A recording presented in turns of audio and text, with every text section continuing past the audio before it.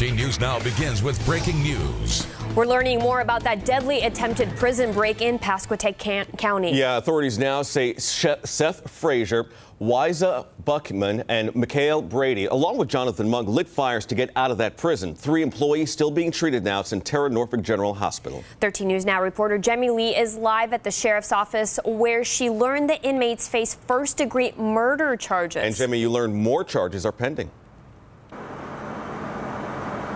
That's right. More charges are pending against all four of these men. In fact, this case is going to the grand jury on October 30th. That's when the district attorney and law enforcement investigators will present evidence to obtain indictments against all four of these individuals.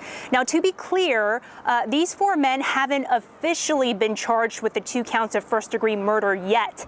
That's because they're being held in higher security prisons elsewhere.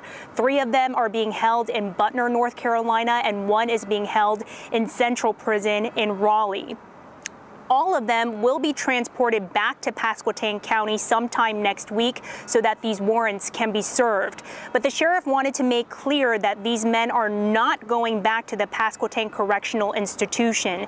They will be transported straight to the sheriff's office to be processed and fingerprinted, and then they will go right back to the prisons in Butner and Raleigh. Now, District Attorney Andrew Womble said that first degree murder is the most serious crime that anyone can be charged charged with in the state of North Carolina. So these guys could be looking at the death penalty or life without parole.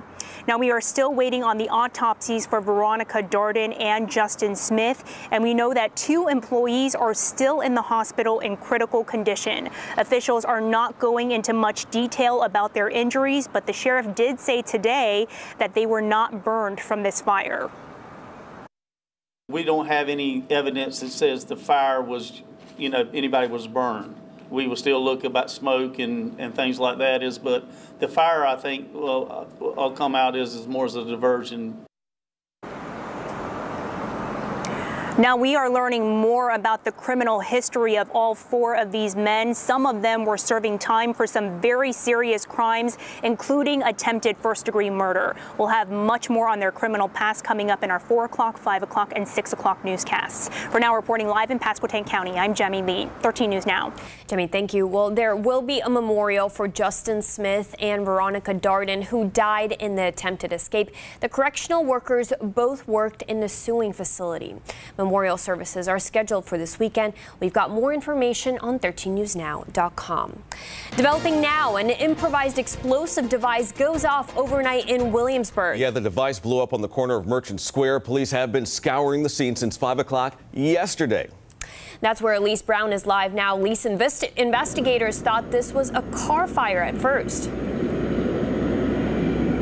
Yeah, that's right, Kristina. This whole area has been blocked off for about 19 hours. We understand police had to wait until daylight to continue their investigation, getting to the bottom of who planted this device. there was an explosive device last night. You're witnessing the moment when police told Jessie Chason her car is a part of a crime scene. It's in a parking lot where someone detonated an improvised explosive device, or IED. It happened around 5 o'clock Thursday afternoon. It's really surprising. I think of Williamsburg as a really safe community. I don't think of a lot of crime happening here. But today, the area around the intersection of Francis and South Boundary, a place that Chason considers safe, is surrounded by police and FBI. The device was detonated near the vehicle. Not only is this a neighborhood, but it's also near the College of William and Mary. Chason told us she didn't get an alert from the school. That is sort of surprising. I've gotten alerts from most of the crime that happens close to campus, and this is extremely close to campus. We reached out to school officials to find out why. They told us no immediate alert was given to students because there was no ongoing threat. However, they did send out an email this morning. Now it is homecoming weekend. The school tells us this event won't have any impacts on what they have planned for this weekend. We'll continue to keep you updated as the story develops. Live in Williamsburg, Elise Brown, 13 News Now. All right, Elise, thank you for that. You can always get the latest information on the story on 13newsnow.com, also by downloading our free 13 News Now app.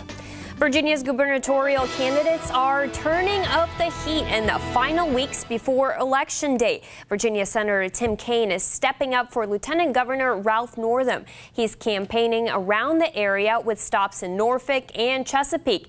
He's holding a small business owners meeting off Araby Road in Norfolk around 1:15 p.m. At 3, he's stopping by Ralph Northam's campaign office at Sam Circle in Chesapeake. And just down the road on Battlefield Boulevard at 4 p.m., he's attending a meet and greet with Councilwoman Ella Ward. Former President Barack Obama was back on the campaign trail last night for Northam at the Greater Richmond Convention Center. Mr. Obama spoke about the current state of politics and said democracy is at stake. They trusted him to do the right thing, even when nobody's looking. And isn't that what we want in our leaders? Isn't that who we want making tough decisions on our behalf?